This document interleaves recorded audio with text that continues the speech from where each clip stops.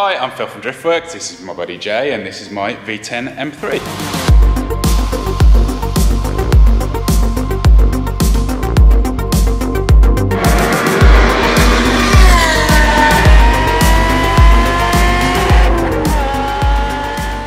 Welcome back. Thank you to those of you that uh, subscribe and especially those of you that buy from driftworks.com, help support all the stupid stuff that we do here.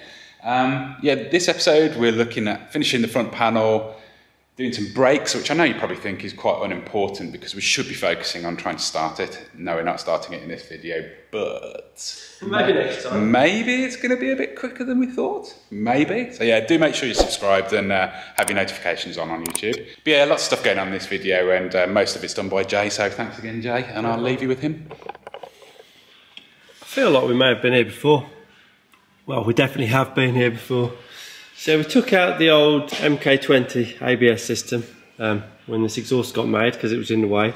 And Phil wanted an MK60 anyway.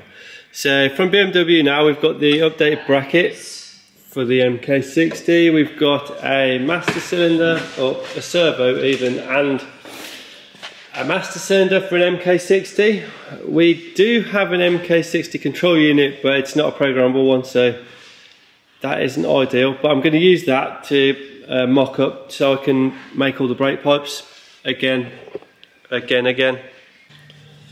So it turns out the control unit we have is completely different, mounting to the M3 one that we need. Perfect. I tried to lacquer the front panel yesterday. The lacquer turned to like sludge for some reason when I put the hardener in, so I've taken that back and got new lacquer, but I can't do that today because the guys are working in there and they don't want to hoof up lacquer all day, I guess. Oh, let's. Uh, I guess I might as well finish bolting the uh, at least the servo in, and then I'll find something else to do. Okay, the work wheels have gone out, so we're finally in a position where we can paint that front panel or lacquer it at least. So I've got it set up out there, warming up in the sun a bit. I'll mix the lacquer and hopefully it won't go to a lumpy sludge this time like it did the other day. Wish me luck. Looks promising. Guy at the shop told me no thinners on this one, so I'll trust him. I'll trust him and we'll see how the first couple of coats comes out and if it comes out all lumpy, I'll thin one down and put a last coat on. I've just done the first coat. I'm not the biggest fan of how this is coming out of the gun. It's, it's thick, but it seems to level out quite well. Just goes on pretty horribly, but I think I'm gonna thin down the second coat a bit and do it the way that I'm used to. Still not too bad though. In the dark, the bits I can see anyway. You can hear old Taylor revving something up, like a schoolboy.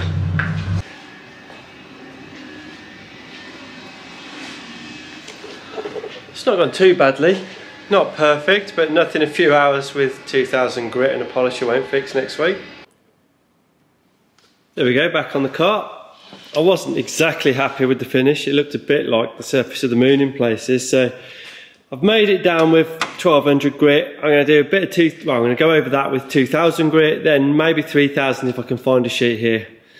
Hit it with the G3 and then hopefully I'll have a bit of shine to it.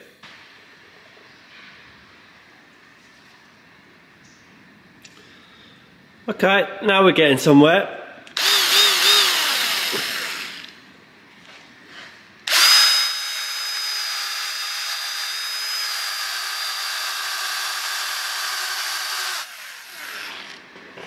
That's enough of that one-handed. Okay. We got there in the end. I think that's a acceptable level. Right, let's move on to something different. I think it's time to get on with the brakes. We've got the MK60 ABS unit now. That seems to have turned up over the weekend. So I'm going to fit that and then we'll have a look at the brake pipes. Okay, I've done a little bit of fiddling about, found some new bolts, mounted the thing. These two pipes are labelled V and H, uh, which is German. Um, H is hinter for behind.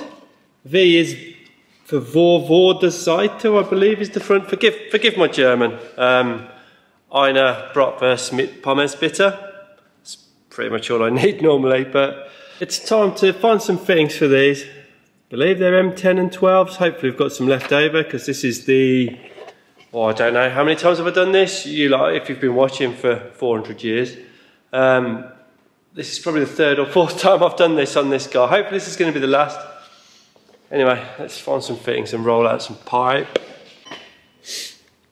All right, all right. Step away from your keyboards. I'm not going to give you twerps the uh, joy of telling me I've done it wrong. This pipe needs to go here.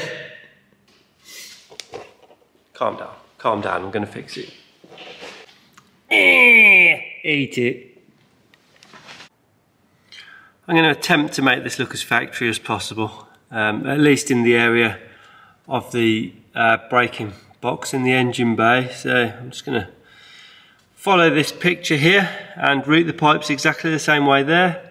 It looks like they come out of the ABS unit and they stack up vertically here. So, okay, and then it's just a case of running them through into the engine bay. Right, no problem, no problem.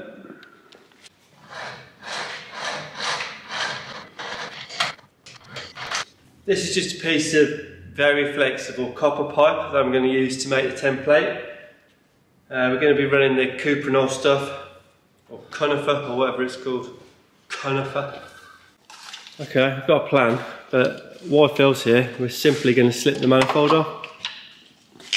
Yes, straight out the front. Yeah. Yeah, because I can't get the uh, the front two brake pipes through and under the manifold in one piece. So it's got to come out of the way at some point. It's got no gaskets on it, so today's the day. Is there anything else we need to work out? Probably loads. Probably is. Yeah. Probably, it's going to be on and off a few more times, basically, isn't it? Before, Yeah. we, before we actually put gaskets in it, but yeah, it's definitely a, bit, a good bit of timing for you with the brake pipes, I think, because you do need that bit of clearance. Yeah, all right.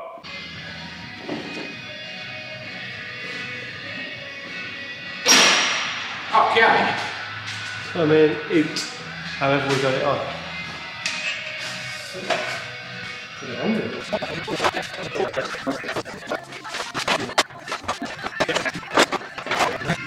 on the floor temporarily. there. Here we go on the first one. So I've roughed, roughed the shape out with a bit of welding wire and then I'm just bending the brake pipe to match that template. Hopefully it's going to work out. It's just a time consuming process, especially if you want it to look right. Hopefully this is the last joint or the last flare that I've got to put on anyway. Let's not forget to slip that on the right way around before we put the flare on.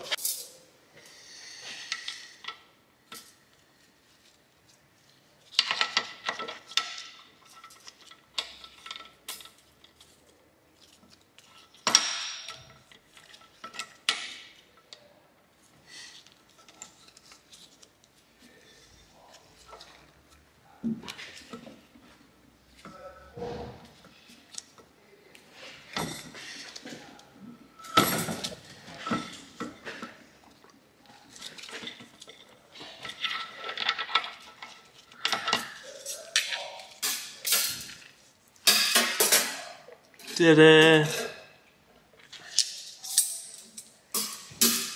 Beautiful. Right, complete. Got brake pipes again. Not too bad, don't look too closely. Just need to get a few clips to, well, some clip separator type things to keep all these the, a nice distance apart. Um, and the same across the back on the firewall there. Moving on, let's uh, let's try and decide what I'm going to do next. I'm not sure where we're up to in uh, video land at the moment, but a couple of weeks ago we did a lot of messing about um, with wheel fitment and stuff, and have decided that we're going to be using these AP calipers that we dragged out of stock,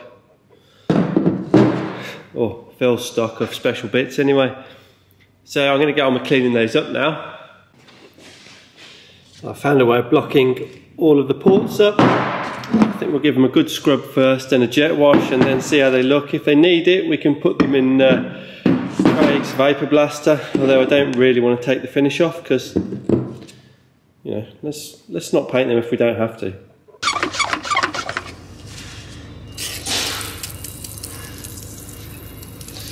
Let's hit him with the Virusol.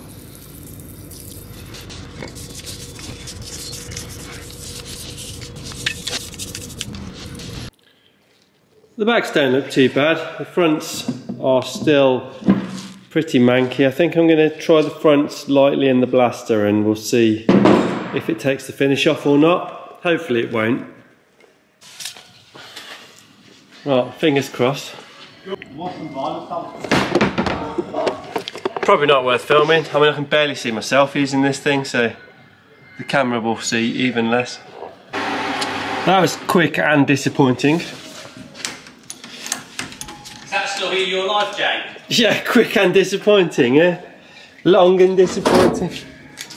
It's taken the coating straight off in the area I tried, so back to the drawing board. We're not doing this. It's been decided that we're painting these. That's right, isn't it? Yeah. So I thought it's best to spend a bit of time now making sure all the pistons are free and we can get the bleed nipples out before I do that.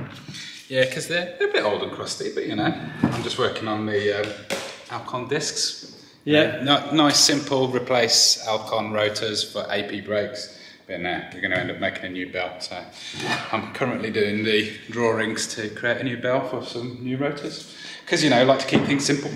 Is there a reason for that? Uh, because basically, to this PCD is different on this bell for these rotors, and actually to replace these cracked rotors, is way more expensive than just having some new bells made with the PCD for these. Which we already discs. had, so it's just a money yeah. saving thing. Yeah, yeah I knew people would ask, like, why don't you just replace them? They'll be dead confused, but you know, yeah. Um, I'm just being.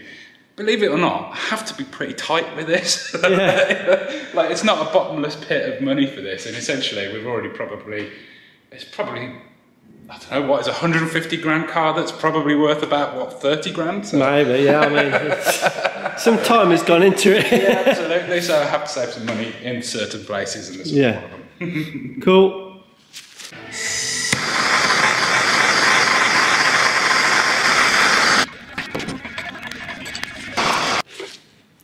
Well, they've all been apart, all back together. It's now time to mask them up. I've, I've, cleaned them off after making a complete mess of them with brake fluid, so another hot wash on the jet wash, more brake cleaner, but they are ready to mask. And we can finally get some paint on them.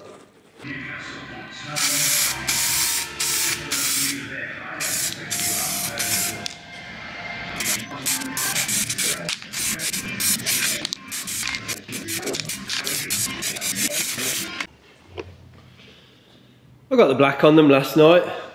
Now it's time to attempt to fill the writing in with Phil's favourite blue and then we'll give them a coat of proper lacquer and try and give them a bit of protection against any brake fluid that we spill on them and then they can go back on the car. It's not going exactly to plan. Tried the technique with a little syringe. Unfortunately, not being an avid drug user, I don't have any needles, so the end is quite thick and it overflows.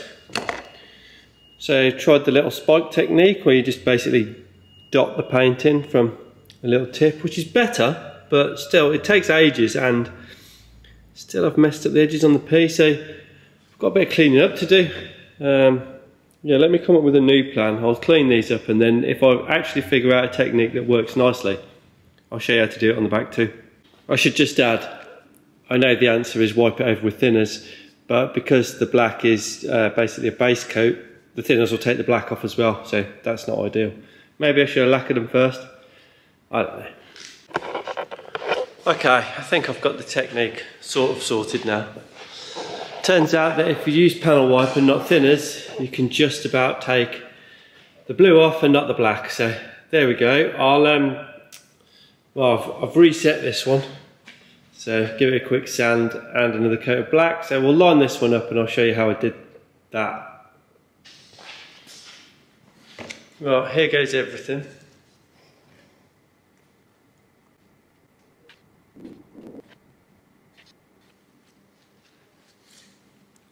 As if by magic it's fixed. Magic. Never mind. Right, on with the last one. Right, by the fifth go, by the fourth go actually, I got it pretty good. And by the fifth go, it came out pretty well. I say fifth go because I've done one of the front ones twice because it was that bad to start with. So there we go. I'll let that dry, have some lunch and we'll get some lacquer on it after. Okay, that's one coat of lacquer on. As you can see, it goes on wet, but uh, it's probably hard to see with the camera. There's a bit that's drying. So you can see as it flashes off it, it goes dull. We don't need shiny calipers on this thing. The car's shiny enough. So those turned out pretty nice. Pretty happy Yeah, with them? out all right, yeah. Yeah, yeah. Yeah. We're um, still waiting for uh, some custom bells to be made uh, by Martin Hadland from Rayland Racing. He's doing the bells for the fronts, and I've just got some stock uh, rear E46 M3 CSL rear discs coming. But um, yeah, should be able to get that back together brake wise pretty quickly. Um, so yeah, we'll probably call that this episode. Uh, Thank you very much for watching. Hope you enjoyed watching Jay's misery. He loves a bit of painting as always. Painting. I don't know, light in this video. You have, yeah, yeah. So If there's one thing he wanted to not do when he came and worked for me, it was basically painting because that's what he hates. But um, I hate sanding the most. sanding, yeah, yeah, yeah. So no, uh, thank you very much to Jay. Thank you very much to you guys for subscribing and for supporting us by buying through driftworks.com. And uh, yeah, we'll see you in the next one. It could be a quite exciting one. The next one. It will. Um, hopefully, it'll be more exciting than watching watching paint dry. Quite literally sometimes. But yeah, we'll see you in the next one. Cheers.